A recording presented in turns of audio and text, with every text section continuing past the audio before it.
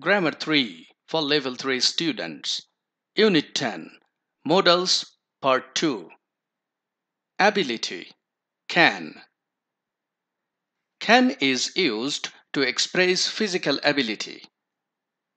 Example We can see with our eyes. It means that we use our eyes to see and this is our ability. He can run fast. This is his physical ability that he can run fast. Can is also used to express acquired skill.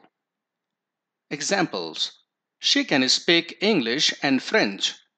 She acquired this knowledge of speaking in both languages. Can is also used to express possibility. Ahmed can come to class. Can is also used to give permission. Example You can leave if you are in a hurry.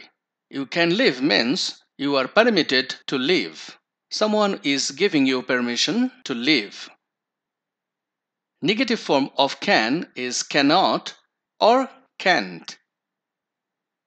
She cannot speak Arabic. Ahmed can't swim. Ability could.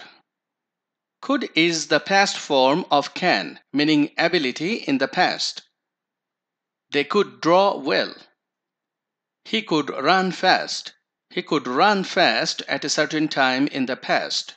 This is his past ability. The negative form of could is could not or couldn't. Example She couldn't cook. Ahmed could not swim. Both of them were unable to do something, and it expresses their past ability.